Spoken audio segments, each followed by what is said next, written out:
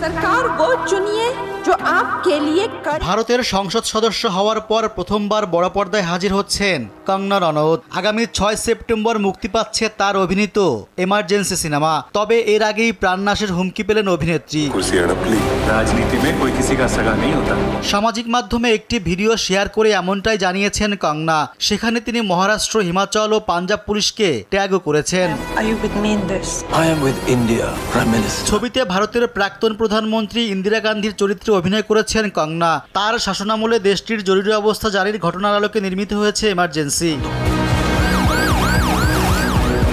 সিনেমাটিকে ইতিমধ্যে নিষিদ্ধের আবেদন জানিয়েছেন শিরোমণি গুরুদ্বারা প্রবন্ধক কমিটির সভাপতি হরজিন্দর সিং ধামি। তার অভিযোগ কঙ্গনার এই ছবি শিখ সম্প্রদায়ের মানুষকে বিচ্ছিন্নতাকামী হিসেবে দেখানো হয়েছে। এর পেছনে গভীর ষড়যন্ত্র রয়েছে বলেও দাবি করেন তিনি।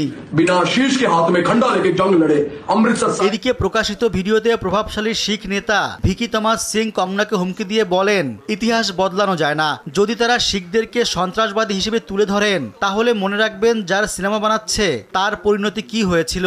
মনে রাখবেন, সন্তবন্ত সিং ও বিয়ন্ত সিং কে ছিলেন? যারা আমাদের খোঁজায় সেই আঙুলি কেটে দেয় আমরা। আমরা যদি নিজেদের গলা কাটাতে পারি, তাহলে গলা কাটতেও পারি।